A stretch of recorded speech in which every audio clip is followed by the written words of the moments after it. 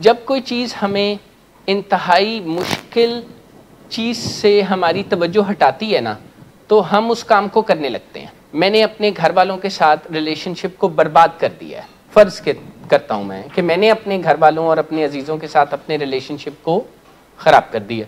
अब मैं भीख ज़्यादा दूँगा या कम दूँगा? बेस्ड ऑन दिस इंफॉर्मेशन आप क्या नतीजा निकालेंगे? ज़ाहिर है जब हम कोताहियाँ करते हैं तो हमारे अंदर गिल्ट पैदा होता है। फिर अगर गिल्ट को दूर करने का हमारे पास कोई शॉर्टकट हो तो हम उसे इस्तेमाल करने से बाज नहीं आते।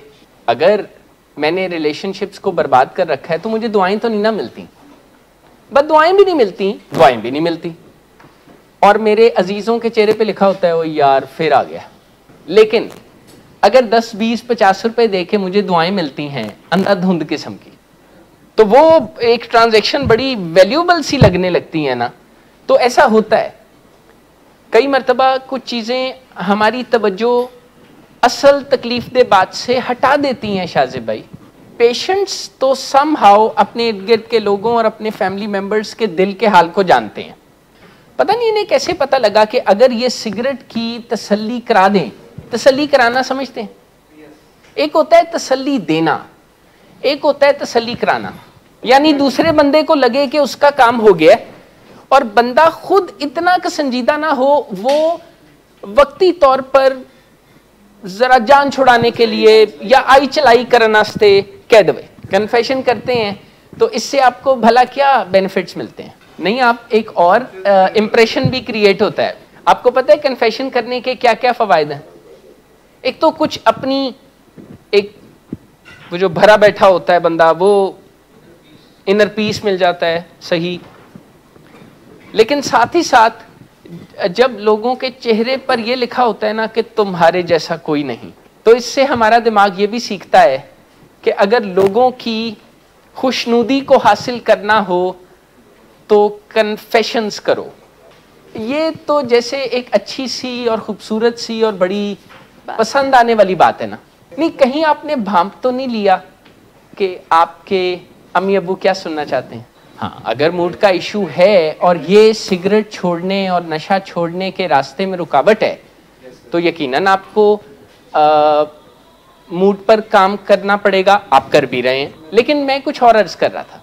मैं ये कह रहा था कि क्या उन्होंने आपके साइकोलॉजिस्ट आपके काउंसलर की तरफ़ भी इस नज़र से देखा कि जैसे ज़बरदस्त आप काउंसलर हैं? मिस मैं आपकी ये दिक्कत समझ सकता हूँ। मुझे बारहा इस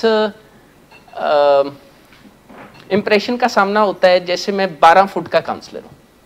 और मुझे समझ नहीं आता कि मैं अब इस बात को कैसे एड्रेस करूँ, क्योंकि तारीफ़ के आगे ना कहना तो मौत को मासी कहने वाली बात है।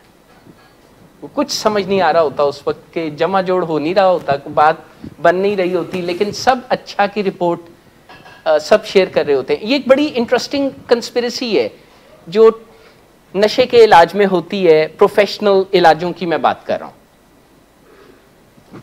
ये कंस्पिरसी ये है कि कुछ ही अरसे में इश्यूज़ पर, नशे की बीमारी पर टूल्स एंड टेक्निक्स पर बात होने की बजाय अच्छी अच्छी बातें होने लगती हैं।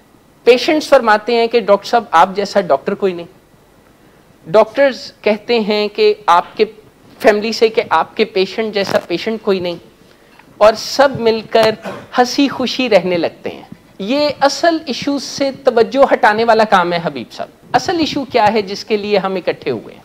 नशे की बीमारी is an inability to do drugs but it start from here यानी ये नशा ना कर सकने की एक हालत है, एक बीमारी है, एक मेटाबॉलिक डिसऑर्डर है, जिसमें पहले जो नशा किया जाता था, अब मज़ीद नहीं किया जाता।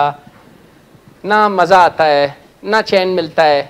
नशा उल्टा बेचैनी, बेसकूनी, तकलीफ़ देने लगता है। इसके साथ साथ मजीद नशा करने का रुझान होता है जो कि बढ़ता चला जाता है। इसे नशे की बीमारी कहते हैं।